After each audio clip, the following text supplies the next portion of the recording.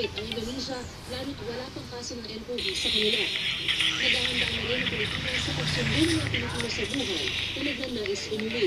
Inihanda na ng PNP ang kanilang mga biological, radiological, nuclear, and explosive o CBRNE medical team. Sila raw ang kasamang susundo sa mga Pinoy. Maris Umani Natuto, 24 Oras. Naku, kung pa naman napaka-importante ang regular na paghuhugas kamay kontra NCOV, saka naman may rotational water interruption ng Maynila. Ang dahilan, tinutukan ni Bernadette Reyes. Doble na raw ang nakukonsumo tubig ni Marieta at kanyang pamilya dahil sa madalas na pagligo at paghugas ng kamay. Pag-iingat daw nila laban sa 2019 novel coronavirus at acute respiratory disease.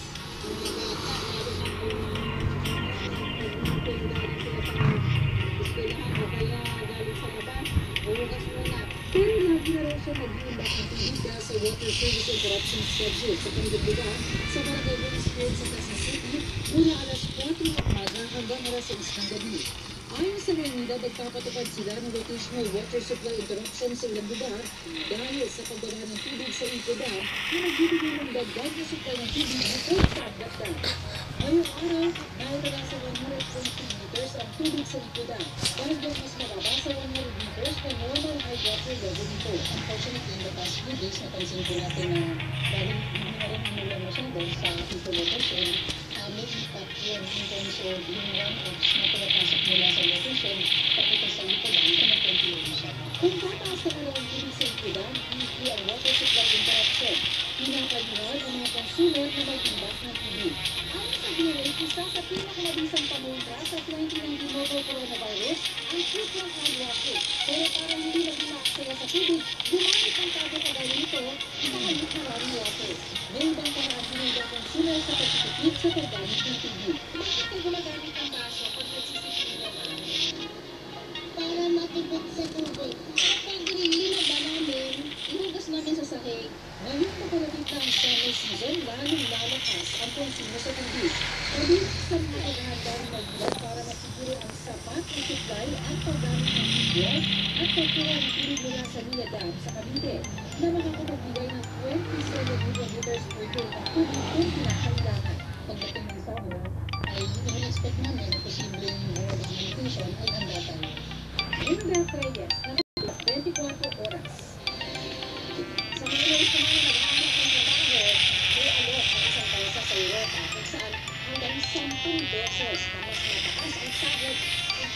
Di mo huwag ka na magsasalitaan na nag-usapan mo ha. Diyan mo siya, huwag ka magsasalitaan.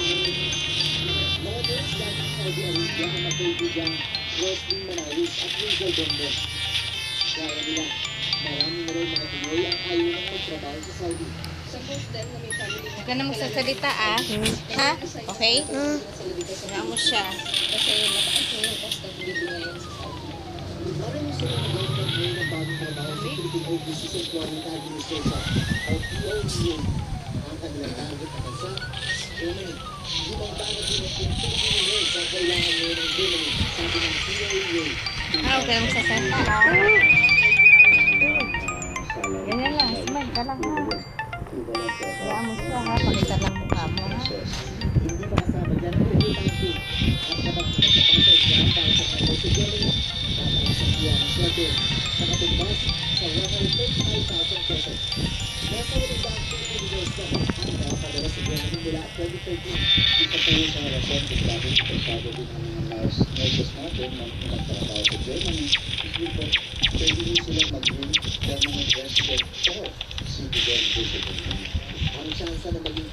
resident sa isang maunlad na bansa ang malaking dahilan kung bakit po pangarap ang trabaho ng magkaibigang Hazel at Roslyn. Doon pwede kami sa Licodan, unlike sa Pinoy na namin dito. Ayun po. And uh, pwede kami kami yung parents ko dito. Sa mga kanabaho natin nurse na gusto magtrabaho sa Germany At nagkaroon ng tsansa na maging permanent resident, meron kayo hanggang dahil dito ang mag-apply dito sa mga rason at ito ang papa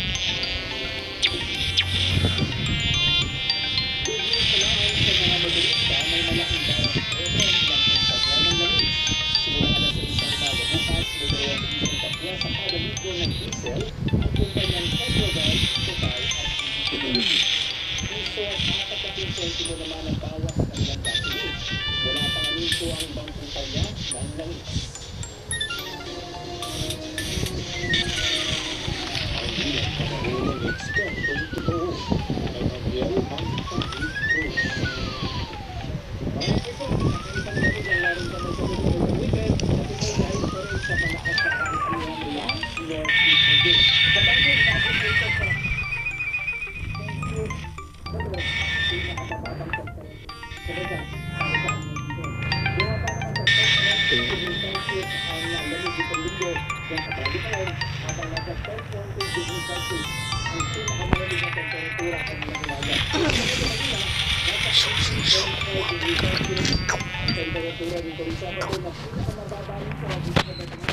para sa anilang 2019-2020. At umabot naman sa 20 degrees Celsius ang uh, lamig sa Metro Manila itong linggo habang 21.4 degrees Celsius ang lamig kaninang umaga yan. At sa wind map ng Metro Weather, ay malakas pa rin mga kapito ang hanginihan, kaya malamig pa rin sa mga susunod araw, lalo na sa Luzon, dahil sa Visayas at Mindanao. At dahil wala itong weather system na nakakapagod sa bansa, ay may hinang ulan lang naasahan dito sa may Cagayan Valley, yan sa may Aurora, Northern Quezon, maging sa Mindoro Oriental sa Luzon. Pero hindi sa mga nasa paligid ng uh,